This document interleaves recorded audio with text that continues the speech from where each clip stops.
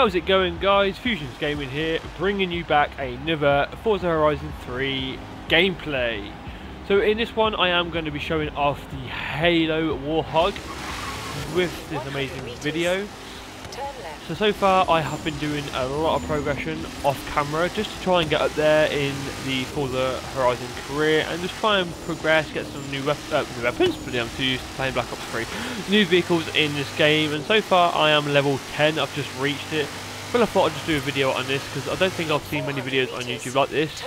I was, uh, I think it was like a downloadable code you could have got through Xbox Live if you're being like a Halo player or playing Halo in the past when you had this game.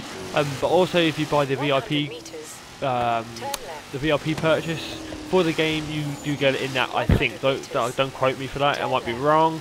But so far, this is the first time I've been in this game. It handles, I mean, it's a big car, big wheels. Obviously, it's going to be heavy on the steering, which it is.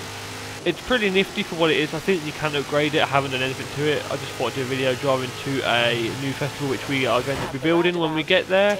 And that'll be the sort of the length of the video I'm going to be doing on this video today.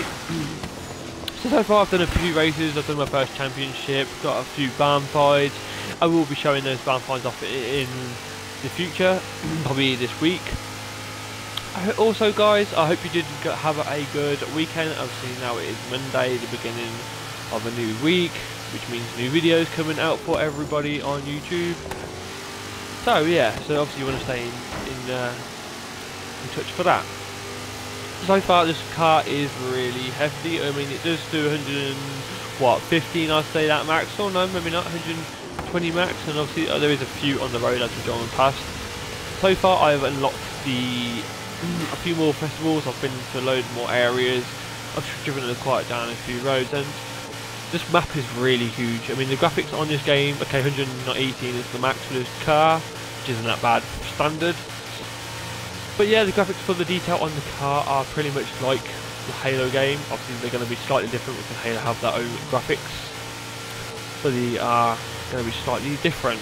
But from a comparison from sort of what you get in the Halo games to this, I think it is pretty much identical. Obviously, it's bigger on this game, and I just got well, I got T-bone then, but luckily I didn't get spun out. Obviously, the of this car and that armour going to keep me on the road. But yeah, obviously this is identical, as I keep saying, uh, to the Halo game, and I think it's absolutely brilliant. I think they, I think they've done a good choice putting a different car into the game. Obviously, they've never, I don't think they've never done this before in one of the Forzas. Oh my god, never one. Ever since I've been, it's just like GTA. Ever since I get in it, everyone has one. But when you don't want have one, nobody has one, and you can never find one. But no, uh, this is the first Forza Horizon 3 game, well, first Horizon game which they've put in another vehicle from other games, which is absolutely awesome. They have so many features on this game. I really do think they've nailed it on this one. I mean, if they if they can beat this in the next one, it's going to be a hard, hard make for that game because this is just probably the best out of all of them, in my opinion. I don't know. You guys might agree with me. If you do, please let me know in the comments. Also, if you like today's video, please do make sure you hit that like button, and if you're new, please hit that subscribe button as well. But yeah, I know it's been a while I haven't, since I haven't done a Forza Horizon 3 video. I've just sort of just been chilling out, playing a bit of Black Ops Y. It's doubling weapon XP, just to level up some of my guns. So we have to take a right hand turn. We are almost at the venue festival where we're going to buy build. and then we're going off-road, so we can actually see what this car is like off-road and see what it handles. So let's let's see. At the moment, it's pretty handling really really good because the most because I have one USV uh, SUV car, which is the Lamborghini, and that doesn't really handle much of well, but this actually handles really, really well. I'm really proud of this car. I'm surprised.